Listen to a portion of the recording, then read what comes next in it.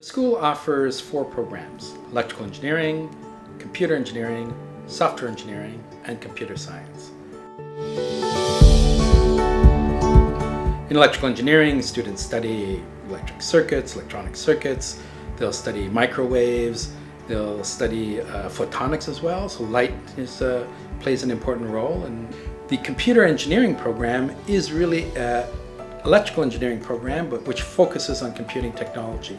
So there is as much a hardware aspect to it, to understanding the circuits and the chips that are found in our computers and, and uh, digital systems.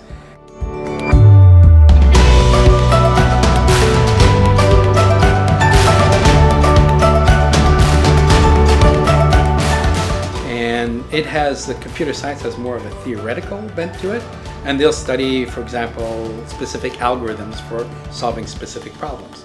So the software engineer will actually build the product that will incorporate the the techniques that are developed by the computer scientists.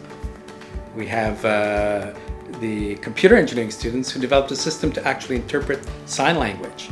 We even had a couple of computer engineering students who developed a system to play Guitar Hero. We have software engineering students who developed a scheduling system for high schools. Some students become managers and team leaders, others become CEOs. Some will actually combine this with law.